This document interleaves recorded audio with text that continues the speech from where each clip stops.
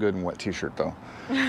Hi, welcome to 1Five1 Garage. I'm Sean. I'm Jill. And it's really hot outside Yes. today, so please excuse the sweating. Now, we are doing a video on the five things we hate about the Bronco. These are five minor things. There are certain things that we knew coming into it that we planned on replacing. These are things that we didn't really expect when we bought the vehicle. We knew when we first started looking at it this vehicle in particular, but it's not something to keep me from buying the vehicle itself. It's just minor things that we have to fix that are kind of a An annoyance. an annoyance at the beginning. Something why they couldn't fix it or why they couldn't do something different. Just like say for instance, take your significant other. Right. Now, you know, you gotta have those little annoyances you have to deal with. Like, say for instance, they might eat the pizza crust first, or they're always on the phone, even during important conversations and everything like that. Or when they're mad, they use your toothbrush to uh, clean the grout in the bathroom.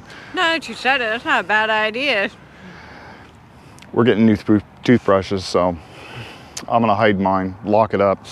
Anyways, so before I get beat up for the numerous people for Jeep or Bronco that actually sit there and go, well, you shouldn't have bought that, or you should have bought a Jeep, you should have bought this. These aren't things that actually would keep me from buying it. They're just annoyances that kind of stood out to me that other people might not know or might not realize. If you don't realize them, I'm sorry. You probably can't look uh, look at the vehicle without seeing them anymore.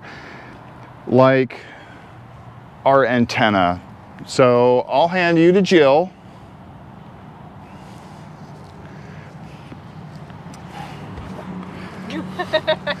now, right here we have a Ford's love of the 1980s antenna.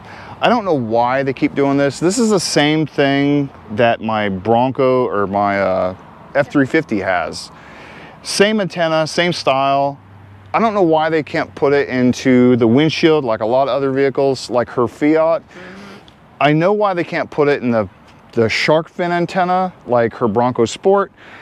Obviously, removable roof, you can't do that this right here is the only thing I questioned is because you make an off-road vehicle and you put a antenna on it that catches every limb, every branch that comes through. Going forward, it doesn't really make a big difference because it's never gonna hit the window. It's when you go backwards that you can go release it and it can possibly damage your window or damage your vehicle itself.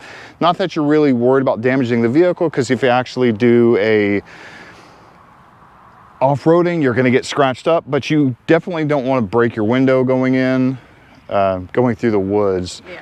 The next thing we have, you have a nice grill, painted carbonized gray, you have all the black in the back, but these three spots and this spot right here is actually shined through to the primer uh, under the vehicle. So you can see these spots right here. Everything else is actually blacked out. They made it on purpose. This right here, they didn't. I suspect it's because of manufacturing. They can't really stop and paint just this area black on every vehicle. It's actually gonna slow down the process. And obviously right now, the last thing they wanna do is slow down any process on the Bronco because you're probably not gonna get it for a longer time. Now, with that, we do have a fix. We are gonna end up taking the grill off and, and painting it ourselves. We'll show you how that's done in a later video. We are gonna fix all the issues we have with the vehicle. It's just issues that we have to fix that'll actually uh, take some time. So let me take you inside and show you the next one. Okay, the next one right now is actually, we are inside the vehicle. Now, this right here is the biggest issue I have, and it might seem kind of silly until you drive into the sun. And the reason I say that is for whatever reason, they made these stickers on gloss material. The reason that's significant is because when you sit where I'm at, right here, this right here, the sun will reflect off of this, off of the uh, hood and into your eyes. If you try to lean down, if you try to lean down, it will actually reflect off of here. As you can tell, my finger is reflecting that. Now, this is the only vehicle I've ever seen that actually has this as gloss material. Every vehicle I've ever owned has either satin or matte finish over this. That way it keeps it from reflecting. I hope they actually replace that with the uh, matte material later on. We will see. I, I hope they will. We're gonna end up getting some matte finish clear and actually cover these up, including the one on the passenger side. We're gonna take care of this and show you exactly what we do to fix that problem, especially if anybody else sees this. Now, This is my normal seating position, and since I'm going to be the passenger like 95% of the time in these vehicles, the 4Runner has a grab bar or a grab handle right here, also known as the OSHA handle, but it's right here, whereas the F350 that we have has one up here, which I don't use for obvious reasons. But then the one in the 4Runner I always use right here.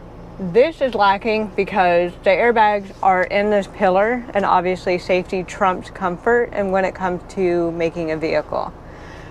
So this is my normal seating position. I have a grab handle right here, but it feels like my right shoulder is going to get dislocated at any moment. And then if I sit forward, I can still grab on, but it's not necessarily comfortable. And I also have the one right here. So we do have a fix for this on top of the bar that will not interfere with the airbag. So stay tuned for that one. Let me see the mic real quick. So one of the reasons this is a big deal to us is because if we go off-roading, she's gonna be bouncing around and stuff. These seats do not have like huge side bolsters on them.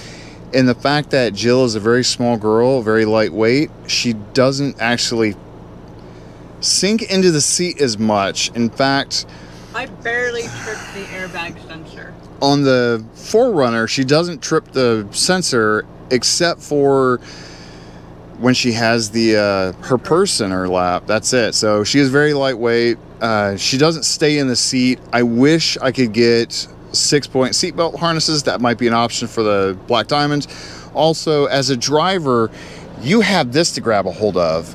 As a passenger, you have nothing. There's nothing up there as comfort wise like this. Normal, normal driving, normal uh, driving conditions like on the road. Off road, I can see because you're going to be grabbing a hold of that, looking at the views either outside to to help the driver.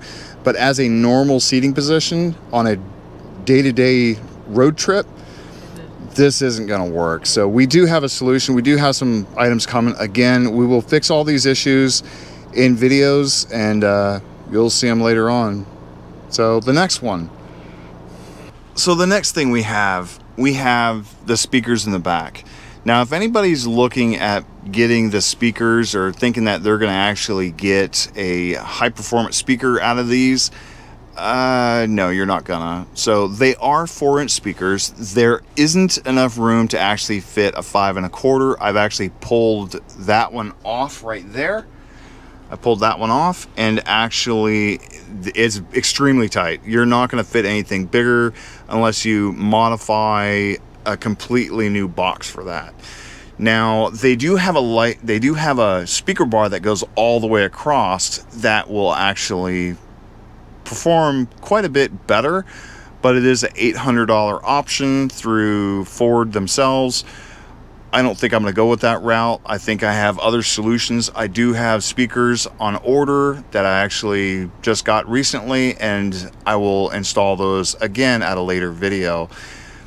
I wish they would have came out with some kind of six by nines or at least a six and a half, but these speakers are just paper speakers. They're nothing special. They're not anything. They're the cheapest speakers you could probably find. So that'll be a biggest uh, biggest improvement for the audio is actually replacing these rear speakers. Now, again, they are very inexpensive to replace. Say, for instance, 50 bucks for a pair or less, and you can have considerably better sound rather than the paper speakers they have. That would be better. So with the with the stereo in the back, they do have a B&O stereo that you can get as an option, but that comes at a higher package, which costs a considerable amount of more.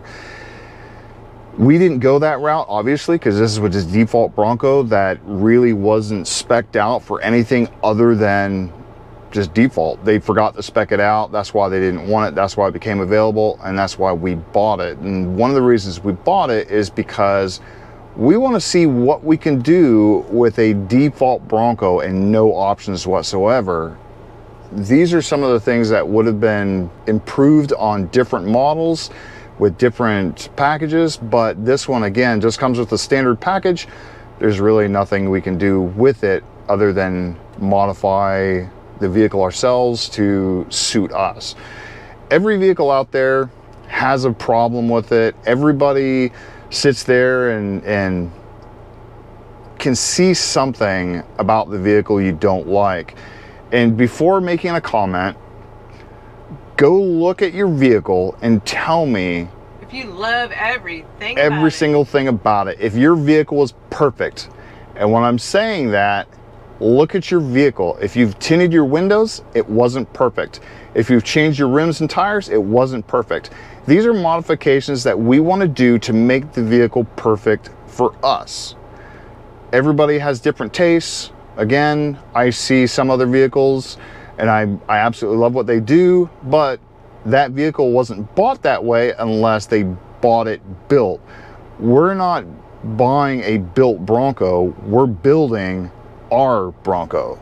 That's what we want to do and that's what this whole video and this whole channel is about is doing stuff ourselves and making the vehicles that we want with our own hands.